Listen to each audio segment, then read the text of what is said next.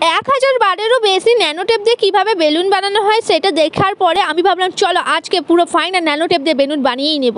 তারপর আমি ন্যানোটেপ নিয়ে নিয়েছি আর আমার হাতিয়ারের জন্য আমি একটা ফ্রুটির বোতল থেকে একটি স্ট্র নিয়ে নিয়েছি। প্রথমে ফ্রুটিটা খেয়েও নিয়েছি। তারপরে একটি স্টোরটা নিয়ে এইভাবে ওপরে দিয়ে দিয়েছি আর তোমরা যেভাবে বলেছ ঠিক সেইভাবেই করব আর এক গাদা ভিডিও দেখেছি সেইভাবে। তারপরে একটা হেয়ার ড্রায়ার নিয়ে নিয়েছি, আমার দ্বিতীয় হাতিয়ার। সেই হাতিয়ারটাকে নিয়ে অন করে এবার সেইটাকে এবার চালিয়ে দিয়েছি। তার আগে আমার মুখেও হাওয়া লেগে গেছে। আমি তো হাওয়াতে উড়িয়ে নিই চলো এবার এটাকে উড়িয়ে দেখি। এটাতে উঠছে না, কিন্তু এটাও ভালোভাবে গরম করে নিয়েছি।